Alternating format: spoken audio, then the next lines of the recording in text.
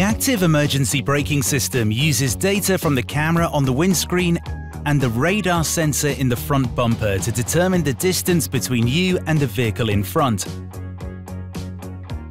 whether it is moving or stationary, as well as cyclists and pedestrians ahead, and warns you if there is a risk of collision. The active emergency braking system detects moving vehicles ahead of you in the same lane as soon as your speed reaches around 5 miles per hour. Conversely, stationary vehicles, pedestrian and cyclists travelling in the same lane are detected when you're driving at between 5 and 49 miles per hour.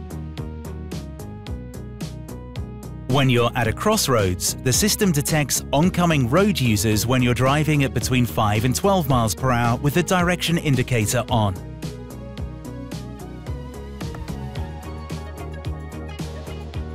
Finally, vehicles crossing at right angles to your lane are detected when your speed is between 12 and 37 miles per hour.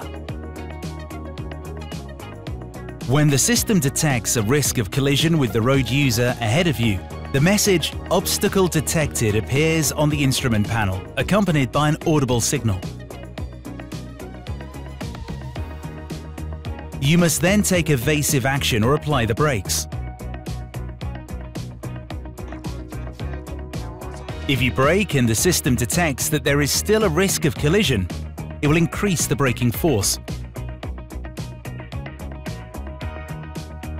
If you fail to brake or take evasive action despite the audible and visual warnings, this indicator light and the message brake appear on the instrument panel.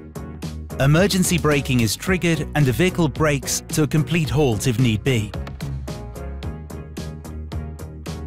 If the danger is imminent, the audible warning and emergency braking may occur simultaneously.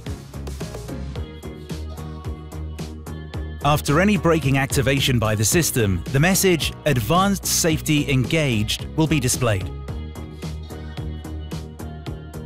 In the case of a complete halt, the system ceases to apply the brakes. If necessary, you must depress the brake pedal to keep the vehicle stationary.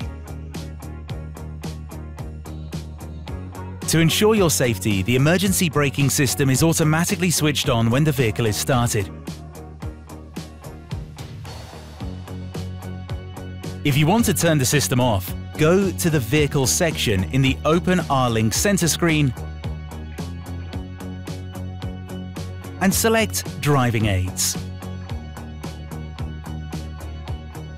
Select On or Off.